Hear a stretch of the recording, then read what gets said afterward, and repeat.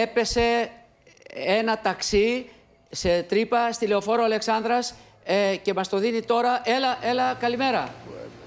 Όλα σε σένα τι είχαν Λόγω σήμερα. λοιπόν της Έλα. κακοκαιρίας Ναι. και της ισχυρής βροχόπτωση, βλέπουμε εδώ πέρα ένα ταξί έχει βυθιστεί. Υποχώρησε το οδόστρωμα επί της λεωφόρου Αλεξάνδρας στο ύψος της Μουστοξίδης, στο Ναι. στενό της Πλαπούτα. Γίνονται έργα εδώ πέρα και ε, έπεσε μέσα στη λακκούβα το ταξί. Μιλάμε για μισό μέτρο βάθους. Δεν τραυματίστηκε κανένας. Ευτυχώς Ορίστε, έχουν ο τοποθετήσει και σήμανση προκειμένου να μην γίνει κάποιο ατύχημα. Ενημερώθηκε και η αρμόδια υπηρεσία για να επισκευάσει το οδόστρωμα.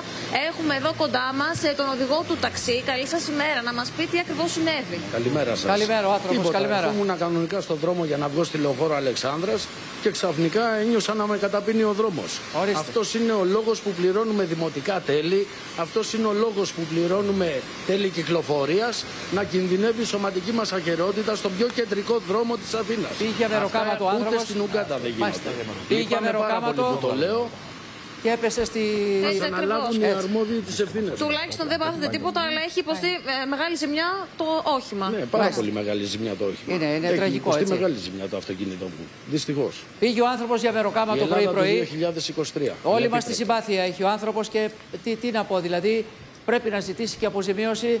Ε, πες του την καλημέρα. Ευτυχώς είναι καλά, δεν του συνέβη κάτι και από εκεί και πέρα να τον αποζημιώσει.